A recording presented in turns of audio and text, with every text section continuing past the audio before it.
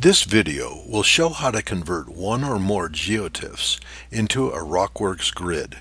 Start by selecting the ModOps Grid Import GeoTIFFs program. Then select one or more GeoTIFFs.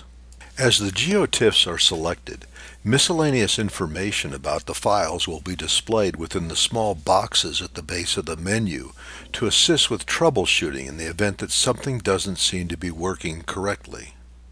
The motivation behind simultaneously importing and merging up to four GeoTIFFs is based on the observation that areas of interest always seem to reside along shared borders or common corners of the GeoTIFFs.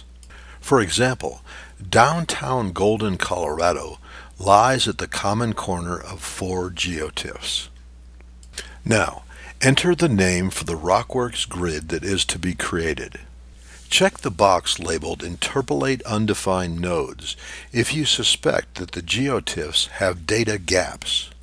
If desired, the project dimensions can be redefined based on the extents of the imported GeoTIFFs. The output grid may be rendered in 2D or 3D by selecting the options along the left side of the menu. This will eliminate the extra step of using the ModOps Grid display program to review the results.